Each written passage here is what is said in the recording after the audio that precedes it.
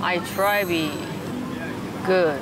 You are. You know, sometimes you know, I'm upset. I'm, Of course. You know, I'm angry, but I'm not the easiest person to live Yeah. with, and you got a lot of pressure.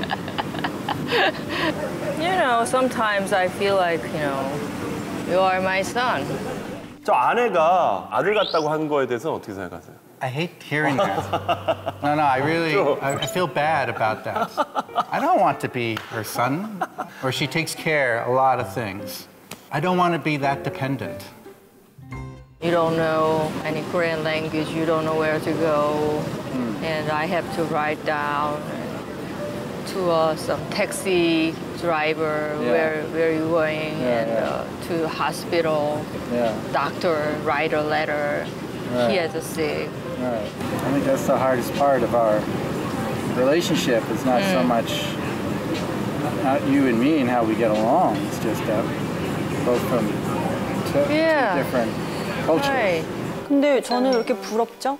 아니 저희는 둘 다 한국인이니까 둘 다 모국어로 얘기하는데도 저렇게 가만히 앉아서 대화가 안 되거든요. 혹시 그런 건 아닐까요? 서로의 모국어로 진짜 화나게 할 만한 어휘들을 안 쓰니까. 근데 만약에 한국말 했으면 아니 이거부터 시작했을 거 아니에요. 그래서 지금 힘들다는 거야? 어? 아니 그건 아니고 나 때문에 한국에 왔으니까 이해는 하는데 아 그래 이해하면 그냥 하라고 그러니까 아니 그게 내 말은 좀 하는데 좀 힘들다는 거지 약간 이렇게 될 수 있는 상황인데 지금 한편은 영화 같지 않습니까? 네, 좀 그런 거에서 덜 화를 내는 게 있긴 있어요. 이게 거리감이 있기 때문에. 앞으로 영어로 대화해야 되겠다. And uh, I don't know if I Yeah. want to live in Korea forever. Um, my parents are getting up in a, up there up Yeah, in age, and over uh, my 80. friends too, and uh, being in the United States, and I miss Mm-hmm. my family and friends. right. 시아버님이 87세시거든요. 네, 건강하신 하- 하셔도 걱정이 되시죠. 네.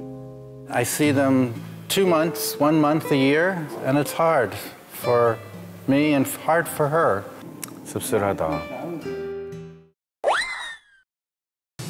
이 순간 딱이야 이 채널